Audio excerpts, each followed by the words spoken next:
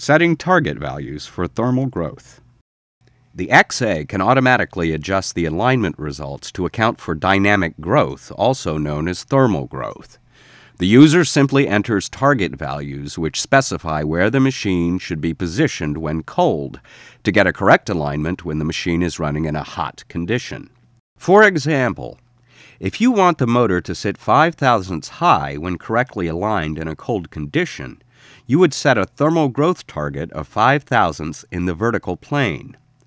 The system will then make an adjustment, essentially building in this deliberate misalignment to compensate for the thermal growth. Since the adjustment is automatically made by the system, the user follows the normal practice of aligning the shafts with the machine in a cold state to acceptable tolerances. Dynamic growth targets for a horizontal shaft alignment are specified after the alignment application has been initiated and dimensions entered. To enter targets, touch the application settings icon. Then touch the thermometer icon.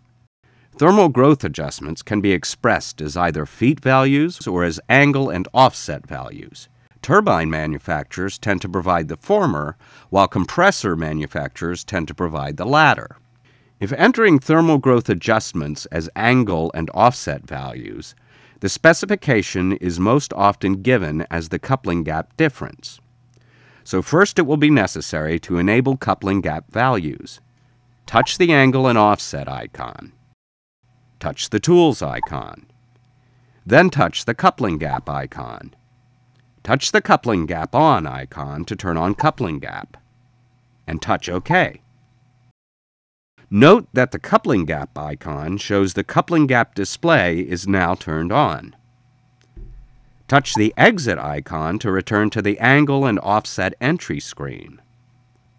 Touch the yellow coupling diameter box. Enter the coupling diameter on the keypad and touch OK to return to the thermal growth values screen.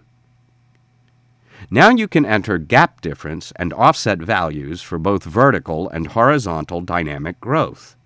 Touch the first yellow box to enter a gap difference value in the vertical plane. Use the keypad to enter the value and then touch OK. Next, enter an adjustment value for the offset growth of the movable machine in the vertical plane and touch OK. The angle and offset adjustments in the vertical plane now appear on the screen. From this screen, horizontal adjustments can be input. The thermal targets can be saved to a file, or the targets can be applied to a horizontal shaft alignment. After completing alignment measurements, the thermal target icon will appear on the results screen to indicate the target values were applied. The icon will remain visible on the results screen throughout the alignment correction process.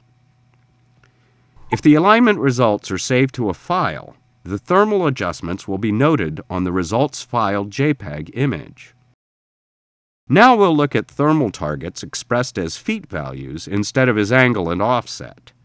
Touch the feet values icon.